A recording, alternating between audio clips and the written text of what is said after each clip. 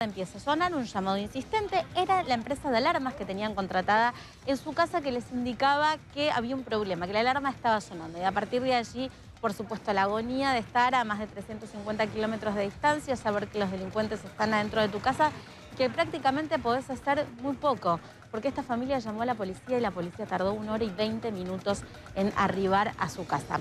¿Cómo entraron los delincuentes? Bueno, en principio lo que se cree es que habían colocado en las cerraduras papelitos para marcar la casa. ¿Qué hacen las bandas, Caro, Sergio?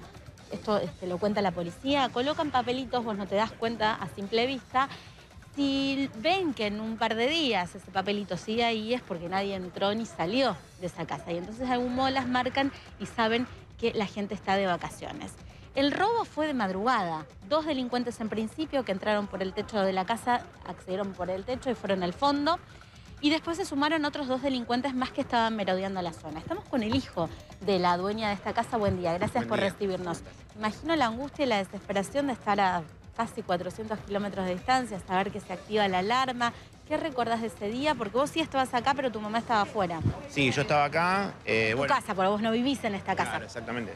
Me avisa mi mamá que se había activado la alarma, que habían roto el teclado, eh, habían quitado las sirenas, porque eso todo lo reportó la alarma llamó al 911 y bueno, yo esperé a venir hasta que llegó el primer patrullero, porque la verdad que solo venir, la verdad que iba a ser ¿No te ibas a enfrentar con los delincuentes?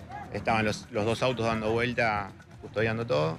Eh, y bueno, yo llegué y bueno, me encontré ya obviamente un montón de patrulleros acá, estaban todos los policías adentro, eh, buscándolos porque ellos escaparon por la parte trasera de la casa, por los patios y salieron por la otra cuadra.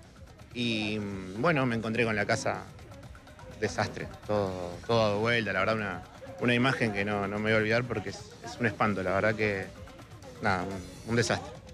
Los delincuentes habían tenido mucho tiempo para estar adentro, ¿no? De la casa, contanos esa cronología desde que tu mamá recibe el llamado de la alarma.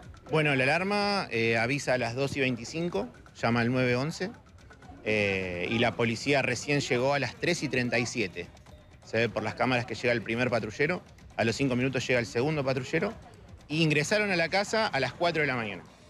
O sea que tuvieron aproximadamente una hora y media para trabajar tranquilos y después escapar tranquilos, porque tuvieron 25 minutos para escapar ya con la policía acá, ¿no? Muchas gracias. No, por favor. Bueno, le agradecemos al hijo de esta señora eh, que se llama Edith, la dueña de la casa. Cortito porque sé que estamos sobre títulos y cierro con esto. La cronología que él contaba, 2 y 25 de la mañana, suena la alarma, pero la policía viene una hora y veinte más tarde. Cuando la policía llega a este lugar, llega con dos efectivos. Los efectivos, ¿sabes qué hacen, Sergio? Eh. Se paran sobre la reja y ven a los delincuentes del lado de adentro, ah. que ya tenían cargado el auto de la dueña con los televisores. Pero ¿sabés qué dicen? No podíamos entrar porque no sabíamos cuántos delincuentes había adentro y necesitábamos apoyo. Con lo cual, la policía acá parada donde estoy yo... ¿Y los delincuentes adentro? dejaron el auto cargado porque no se podían escapar por la puerta porque estaba la policía y se escaparon por el fondo.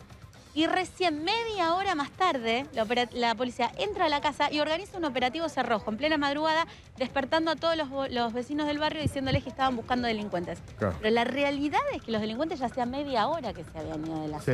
Y una hora y veinte más tarde llegó la policía. Sí, sí, sí. O sea, si, si sumás son dos horas. Si sumás son dos horas de margen. ¿Qué es lo que, lo que hacen, no? Es lo que... En otro robo estaban los delincuentes. No, claro, claro. la indignación y la bronca. Claro, claro. Em, digamos, entran, saben cómo actuar, saben dónde moverse y buscan plata. Buscan plata, este, hasta algunos con guantes para no dejar huellas. No, es una cosa de loco. Bueno, Tal cual. en un ratito volvemos con vos, sí.